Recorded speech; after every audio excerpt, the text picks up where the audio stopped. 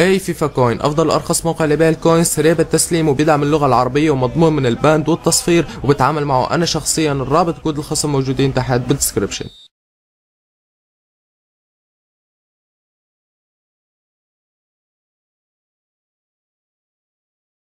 السلام عليكم. كيف حالكم مكسرين؟ جيمز لما أنا فيديو بقناة من سلسلة آخر أخبار سوق الانتقالات الصيفية الحلقة رقم 11 من هاي السلسلة. فبتمنى قبل ما نبدا دعمك تصير لك تشترك بالقناة إذا ما كنت مشترك. نعتذر بداية امبارح إنه ما حسنت ننزل مقطع لكن اليوم راح يكون في حلقتين من سوق الانتقالات الصيفية. لكن بشرط إنه دعمكم يكون على الحلقة جدا ممتاز. فبتمنى تحاولوا توصلونا 3500 like. إن شاء الله أول ما نوصل هذا الرقم بالعادة بنوصله بسرعة كثير فإذا وصلنا إن شاء الله راح ننزل لكم الحلقة اللي بعدها فورا. واليوم إن شاء الله راح أحاول أنزل حلقتين لكن حاولوا توصلونا هذا الرقم عشان ننزل لكم الحلقة الثانية. فبسم الله نبدأ بالخبر الأول. عنا واللي هو انتقال لاعب جورجينيو إلى نادي تشيلسي. طبعا كشفت بعض الصحف الإنجليزية أن نادي تشيلسي على مقربة من ضم اللاعب جورجينيو وأن مالك نابولي صرح بأن اللاعب سينتقل إلى نادي تشيلسي وليس مانشستر سيتي. صراحة اللاعب بشكل عام يعتبر من اللاعبين جدا ممتازين آه، مع نادي نابولي الموسم الماضي بشكل عام. واللاعب لسه عمره 26 عام وطوله 180 سنتيمتر. نادي تشيلسي الصراحه عنده لاعبين خط وسط كثير يعني ما بشوف إنه محتاج تدعيم خط الوسط. يعني في كانتي وفي فابريجاس يعتبروا الاثنين من جدا ممتازين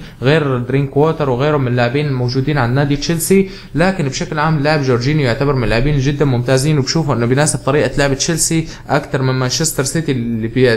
لأنه تشيلسي غالبا يعني معتمد على على الدفاع والهجمات المرتدة. يعني ما عدا مانشستر سيتي شفنا آه، أغلب لعبه باصات وتيكي تاكا وهيك. واللاعب طبعا لعب 39 مباراة الموسم الماضي سجل أربع أهداف وصنع أربع أهداف. إحصائياته بشكل عام تعتبر جيدة نوعا ما ما هي الممتازة ولا سيئة. لكن جيدة وثلاث نجوم مهارات وثلاث نجوم قدم ضعيفة. لو مثل تشيلسي بتكون صفقة الصراحه جدا ممتازة بالنسبة للنادي اللندني. فبننتقل للخبر اللي بعده عنا واللي هو انتقال لاعب أتشيربي إلى نادي لاتسيو. طبعا تم بشكل رسمي انتقال لاعب من نادي ساسولو الإيطالي إلى نادي لاتسيو الإيطالي مقابل مبلغ 10 ملايين يورو. اللاعب البالغ من العمر 30 عام وطوله 192 سنتيمتر يعتبر من القامات العالية صراحة بالدفاع آه وعمره 30 عام. فلعب 38 مباراة الموسم الماضي مع نادي ساسولو عمل فيها 65 تدخل 51 منها تدخلات ناجحة. يعني كعدد تدخلات يعتبر يمكن قليل نوعا ما بالنسبة لعدد المباريات اللي لعبها لكن كنسبة نجاح تعتبر نسبة جدا ممتازة يعني حوالي تقدر تقول 87% أو شيء فيعتبر شيء جدا ممتاز صراحة وأداء اللاعب بشكل عام جدا ممتاز وتعويض لرحيل ديفري آه، لنادي إنتر ميلان. شفنا لاعب ديفري اللاعب الهولندي طبعا انتقل لنادي إنتر ميلان فهذا أكيد راح يعوض رحيله. الصراحه اللاعب بشكل عام يعتبر من اللاعبين الجيدين جدا وأكيد راح يكون إضافة جيدة بالنسبة لنادي لاتسيو. فبننتقل للخبر اللي بعده. عنه واللي هو انتقال لاعب زين الدين فرحات آه، إلى نادي مونبلييه طبعا كشفت بعض الصحف الفرنسية عن قرب انتقال اللاعب. آه، طبعا إلى نادي مونبلييه اللاعب بشكل عام بيلعب بالدوري الفرنسي الدرجة الثانية والخبر طبعا إجاني من أحد المتابعين على الإنستغرام بعث لي إياه. فإذا عندك أي خبر للاعبين العرب بشرط يعني إنه يكون موجود بطاقة بلعبة فيفا مشان أغلب الناس تكون بتعرفه. فأرسل لي إياه على الإنستغرام وإن شاء الله بنزله بالحلقات الجاية. فاللاعب طبعا كل عمره 25 عام وطوله 185 سنتيمتر كإحصائيات تعتبر إحصائيات أسطورية. الصراحة بالنسبة للموسم الماضي فاللاعب لعب 39 مباراة سجل فيها خمس أهداف وصنع 20 هدف. ما يمكن هو عم يلعب يعني بالدرجة الثانية بالدوري الفرنسي يمكن تشوفوا إنه هذا الشيء مو منيح. لكن اللاعب بشكل عام صراحة لاعب جدا ممتاز يعني بالنسبة لأحصائياته. ولو انتقل على الدوري الفرنسي الدرجة الأولى احتمال إنه يتألق وينتقل آه، على دوري يمكن لسه أفضل من الدوري الفرنسي أو لنادي ممتاز يعني بالدوري الفرنسي. لاعب الصراحه من اللاعبين الممتازين جدا. آه، طبعا لاعب جنسيته جزائريه طبعا. فأربع نجوم مهارات نجوم قدم ضعيفة بنتمنى صراحة إنه ينتقل للدوري الفرنسي الدرجة الأولى لأنه غالبا لما بينتقل الواحد على دوري ممتاز فبتشوفه العديد من الأندية واحتمال ينتقل لنادي كبير. فبننتقل للخبر اللي بعده عنا آه، واللي هو انتقال اللاعب أشرف حكيمي إلى نادي بوروسيا دورتموند. طبعا تم بشكل رسمي انتقال لاعب من نادي ريال مدريد الإسباني إلى نادي بوروسيا دورتموند الألماني لمدة موسمين على سبيل الإعارة طبعا يعني إعارة لمدة موسمين. لاعب البالغ من العمر 19 عام طوله 180 سنتيمتر. لعب الموسم الماضي مع نادي ريال مدريد يعني 14 آه، مباراة عمل فيها 52 تدخل 33 منها تدخلات ناجحة عدد تدخلات جدا ممتاز صراحة بالنسبة لأشرف حكيمي وتقريبا يمكن سجل هدفين آه، ماني متاكد هدفين أو ثلاث أهداف الموسم الماضي مع ريال مدريد قدم أداء جدا ممتاز صراحة بأول موسم له وحصل على لقب دوري الأبطال يعني اللاعب عمره 16 سنة حاليا وعنده لقب دوري أبطال أوروبا صراحة شيء يعتبر جدا ممتاز وطبعا كان مع المنتخب المغربي آه، المشارك بكأس العالم لكن للأسف انه المغرب طلعوا من دور المجموعات كنا بنتمنى صراحة إنه يتأهلوا لأنه كانوا الصراحة بيستاهلوا التأهل لولا الحظ يمكن كانوا تأهلوا. كثير فرص كانت عم تضيع يعني وكان الحظ له دور كبير آه، بخروج المغرب الصراحة من كأس العالم. لاعب بشكل عام جدا ممتاز وأكيد راح يشارك مع دورتموند بشكل أساسي أو بشكل عام إنه راح بيشارك ب- بنسبة أكبر من مشاركته مع ريال مدريد لأنه 14 مباراة بموسم يعتبر عدد قليل لأنه في دوري وفي كأس وفي دوري أبطال. فلازم يشارك الصراحة كان بمباريات أكثر من هيك لكن الصراحة بالمباريات اللي شارك فيها قدم أداء جدا ممتاز. فبننتقل للخبر اللي بعده عنا واللي هو انتقال الحارس ادان إلى نادي أتلتيكو مدريد. طبعا تم بشكل رسمي انتقال لاعب من نادي ريال بيتيس آه، الإسباني طبعا إلى نادي أتلتيكو مدريد الإسباني مقابل مبلغ 1 مليون يورو فقط بس يعني واحد- واحد مليون يورو يعني بس.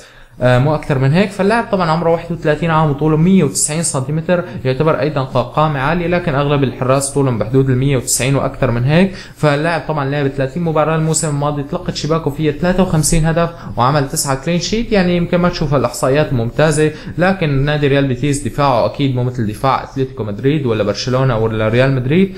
فدفاعهم يعتبر جدا عادي وأكيد راح يكون بديل لأوبلاك لأنه أوبلاك على الأغلب إنه راح يضل بأتلتيكو مدريد وما بظن إنه هذا الحارس راح يكون بديل له ولا شيء لأنه اوبلاك على الأغلب الظن أنه راح يضل بنادي أتلتيكو مدريد. فاللاعب طبعا نجمه مهارات ونجمتين قدم ضعيفة. فبننتقل على الخبر اللي بعده عنا واللي هو انتقال لاعب ماجوير إلى نادي مانشستر سيتي. طبعا بعد الأخبار اللي انتشرت عن إمكانية انتقاله إلى نادي مانشستر يونايتد حاليا في أخبار عن إمكانية انتقاله لنادي مانشستر سيتي. آه، خاصة انه العديد من اللاعبين بكأس العالم يعني مع المنتخب الإنجليزي اللي طلع ضد المنتخب الكرواتي بنتيجة 2-1 صراحة يعني كمباراة كانت مباراة جدا ممتازة.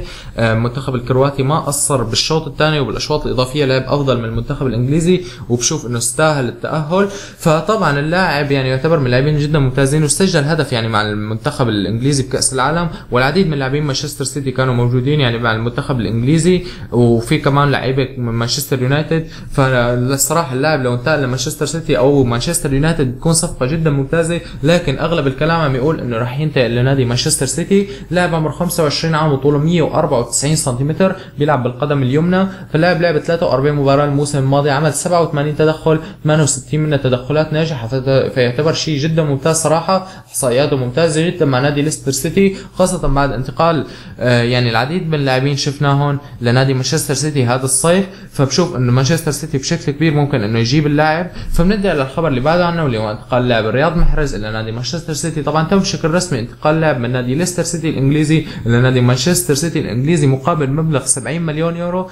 بعد حديث طويل جدا جدا الصراحة عن هي الصفقة وأخيرا تمت هي الصفقة يعني كانت كثير ناس عم تستناها بفارغ الصبر وكلنا صراحة كنا متمنين إنه ينتقل محرز من نادي ليستر سيتي خاصة بعد ما أخذ يعني لقب الدوري الإنجليزي مع ليستر سيتي فكنا بنتمنى إنه ينتقل من هذاك الوقت. فاللاعب طبعا عمره 27 عام وطوله 176 سنتيمتر بيلعب بالقدم اليسرى. فلعب الموسم الماضي 41 مباراة سجل فيها 13 هدف وصنع 13 هدف. إحصائياته جدا ممتازة الصراحة مع ليستر سيتي بالرغم من إنه ما له هالنادي الكبير. آه، طبعا مثل نادي مانشستر سيتي وهيك لكن أكيد مع نادي مانشستر سيتي راح يكون شيء جدا ممتاز خاصه إنه النادي لما بيدفع بلاعب مبلغ 70 مليون يورو فأكيد راح يكون آه، يشارك كأساسي مع نادي مانشستر سيتي وبيستاهل صراحة إنه يشارك كأساسي من أفضل اللاعبين يعتبر صراحة بالدوري الإنجليزي. هو محمد صلاح يعتبر فخر العرب صراحة بالدوري الإنجليزي. لاعبين الاثنين يعتبروا جدا ممتازين واللاعب كل عمره 27 عام يعني بإمكانه إنه يضل آه، مع نادي السيتي لعدة مواسم. فبننتقل للخبر اللي بعده عنا واللي هو انتقال لاعب لايون إلى نادي فيا ريال طبعا تم بشكل رسمي انتقال لاعب من نادي بورتو البرتغالي إلى نادي فيا ريال الاسباني مقابل مبلغ 4 ملايين يورو لاعب عمره 30 عام وطوله 180 سنتيمتر. من أفضل اللاعبين كان بلعبة فيفا 16 صراحة اللي كان في بطاقة له جدا أسطورية كانت كل طاقاته فيها فوق ال 90 وحتى فيفا 17 يعني كانت بطاقة جد جدا جدا ممتازة مع نادي بورتو كانت وقتها. فاللاعب طبعا لعب 29 مباراة الموسم الماضي. كان معار طبعا بداية إنه كان معار من نادي بورتو لنادي إشبيليا. عمل 64 تدخل 38 من التدخلات ناجحة وبكثير من فترات الموسم لعب كجناح.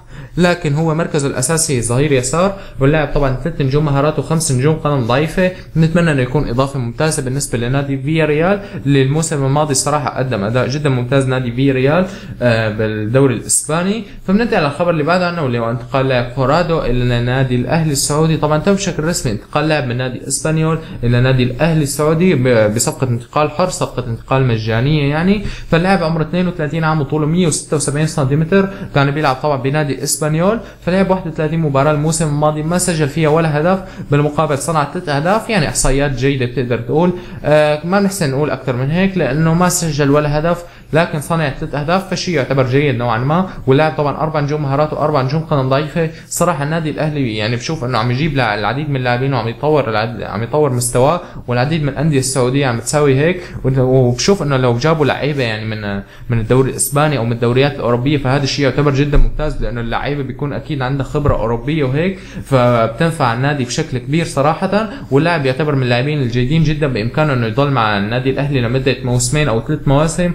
ونتمنى إنه يقدم أداء جدا ممتاز. صراحة اللاعب بشكل عام يعني كان قبل هيك يعتبر لاعبين جدا من اللاعبين جدا ممتازين وما زال يعني أداؤه جيد جدا بتقدر تقول حاليا بنتمنى إنه يقدم أداء ممتاز. فبننتقل للخبر اللي بعده عنا واللي هو انتقال لاعب فيليب كوتينيو إلى نادي باريس سان جيرمان كشفت بعض الصحف الفرنسية إن نيمار طلب من ناصر الخليفي اللي هو مالك نادي باريس سان جيرمان أو رئيس تقريبا باريس سان جيرمان جلب نيمار إلى باريس سان جيرمان خاصة يعني شفنا باريس سان جيرمان الموسم الماضي كان عندها عناصر ممتازة لكن ما عملوا شيء خاصة أيضا بعد تألق كوتينيو بكأس العالم تألقه فنيا صراحة يعني يمكن قدم أداء أفضل من نيمار لأن نيمار شفناه كل كأس العالم قضاه تمثيل ووقع على الأرض وضيع تضييع وقت لكن كوتينيو الصراحه قدم أداء جدا رهيب بدور المجموعات. يمكن بعد هيك ما سجل لكن بالمقابل والله عمل شغل رهيب خاصة مباراة بلجيكا كان مقدم أداء جدا ممتاز صراحة لكن إنه طلعوا على إيد المنتخب البلجيكي. فلو انتقل طبعا تقريبا قيمة كسر العقد 300 مليون يورو لو نادي باريس سان جيرمان حابب يضم اللاعب